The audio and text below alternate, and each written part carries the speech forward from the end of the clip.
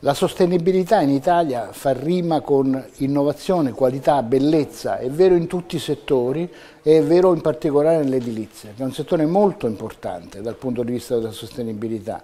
non solo perché la qualità delle nostre città è nei cromosomi del nostro paese, ma anche perché nell'edilizia, negli edifici, si concentrano anche dei problemi grandi, nel senso che un terzo delle nostre emissioni, una parte importante per esempio del consumo di metano, è legato proprio all'abitare, agli edifici, al, a, a, alla possibilità di utilizzare non solo le fonti rinnovabili ma anche l'efficienza energetica, il risparmio energetico, l'innovazione, i nuovi materiali. Beh, questa è la sfida e come spesso capita, se uno guarda l'Italia con occhi non pigri, come abbiamo fatto noi in questo rapporto che racconta 100 storie, trovi tante esperienze eh, nelle università, nelle imprese, nella società, eh, nella ricerca, che ci parlano di un'Italia che c'è ma che può preparare il futuro e, aggiungo, ci può anche aiutare a fare a meno del gas. Tutto il gas in prospettiva, il gas rosso, più presto ancora.